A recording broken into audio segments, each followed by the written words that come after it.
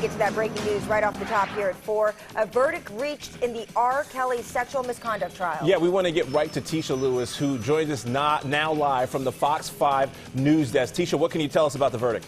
Well, Rob and Angie, we've been following this closely, and within the past hour, the jury of seven men and five women found R. Kelly guilty of three counts of racketeering involving sexual abuse. The conviction today coming after decades of the R&B star avoiding criminal responsibility for numerous allegations of misconduct with young women, including young girls. This all comes after decades of speculation surrounding Kelly's relationship with those young girls and assertions his managers and aides helped him meet those girls. A very bizarre trial. In fact, it started off with the defense witness first saying that he never saw Kelly with young girls and then saying that he did. And again, the jury deciding it all amounted to a criminal enterprise. Again, R. Kelly found guilty on these charges. We will be sure to keep you posted on the very latest. And of course, you can follow us on our social media platforms, the Fox 5 News app, and also fox5dc.com.